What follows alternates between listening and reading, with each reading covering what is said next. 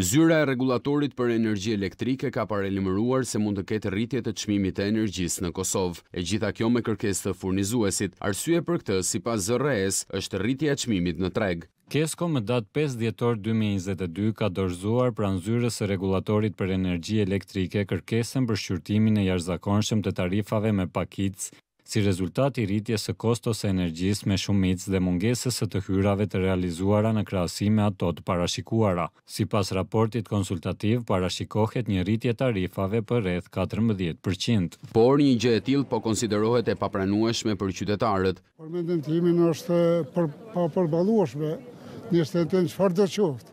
Absolutisht me standardet që kanë kosovarët nuk është e përballueshme. Nëse veç e kanë vendosë për me shtrejtu do të thotë rrymën, edhe nuk na pysin neve. Ata bojnë kryen veti, pra po na nuk kem kapacitet me përballu.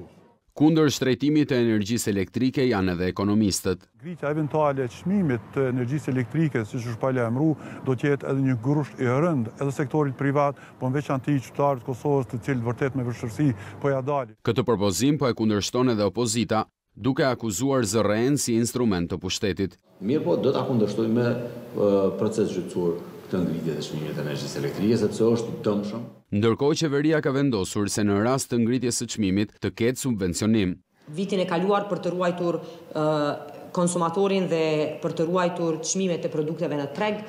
Nuk ka pasur shtrejtim të energjisë elektrike për konsumatorët komercialë. Qeveria është munduar me masa të vazhdueshme për kategoritë në nevojë të ndihmojë me subvencionimin. Por edhe këtë eksperti i ekonomisë nuk e sheh si zgjidhje.